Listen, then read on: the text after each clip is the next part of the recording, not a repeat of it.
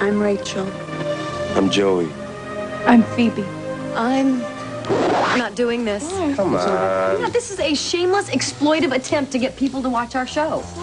Exactly. Friends, Thursday nights, right here on NBC. Would you stop? They've got us in our underwear. We're never going to be in our underwear. We're not going to be in our underwear, are we? Friends, between Mad About You and Seinfeld, Thursdays this fall.